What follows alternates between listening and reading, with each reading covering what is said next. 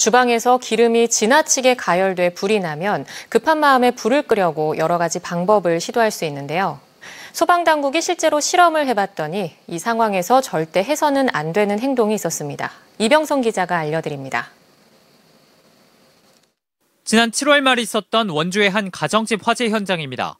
요리를 하다 자리를 비운 사이 가스레인지에 올려둔 프라이팬에 기름에 불이 붙었는데 분말 소화기 9개를 쓰고도 불이 꺼지지 않아 결국 119가 출동해 진압했습니다.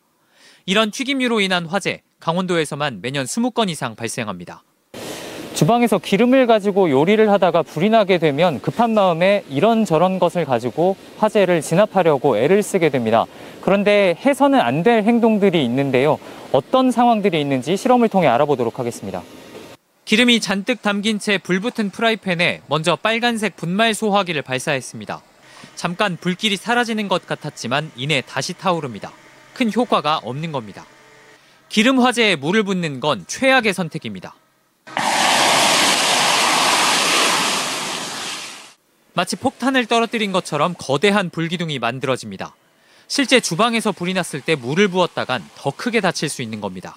그 기화될 때 그 부피가 한 1,700배 정도로 이제 불어납니다. 그러면서 그게 폭발적으로 불기둥을 형성하게 돼요.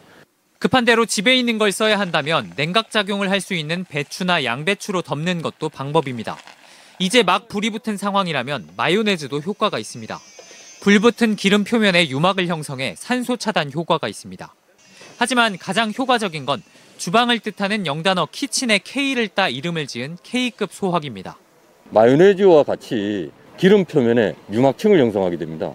그 유막층이 올라오는 유증기를 막아주는 역할을 하기 때문에 그게 이제 자연스럽게 진화가 되는 거죠.